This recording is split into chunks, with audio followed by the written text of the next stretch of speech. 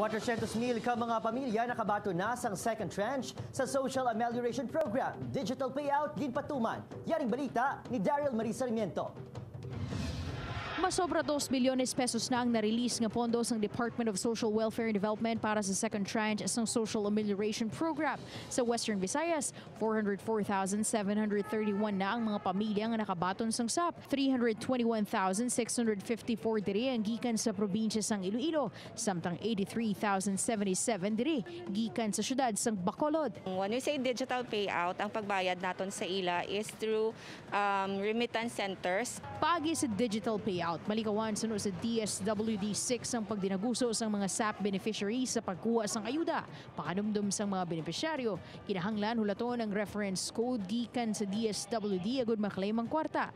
Sa probinsya sang Iloilo, nakatala na pa nga ma-release ang ayuda sa mga taga-Banwa sang Miagao, Pasi, San Joaquin, Barotac Nuevo, Liganes, New Lucena, San Dionisio, Santa Barbara, Dueñas, kag Pavia.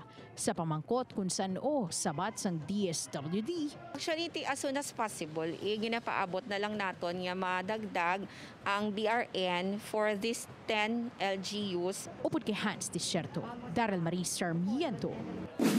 One Western Visayas.